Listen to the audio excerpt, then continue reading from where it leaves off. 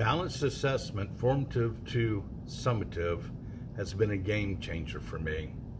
It's one of the best things I have read as a teacher, oftentimes as a substitute going into the classroom for a long-term assignment. I'd be wondering exactly how should I be assessing my students and how should I be analyzing their work?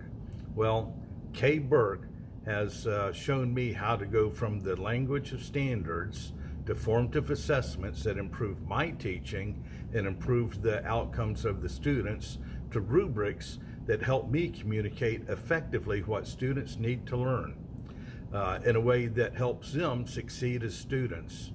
And that's what it's about. It's about helping our students succeed to become the best academic learners that they can be. I've learned how to make analytical rubrics, holistic rubrics, and how to use those rubrics in meaningful ways that helps all my students succeed.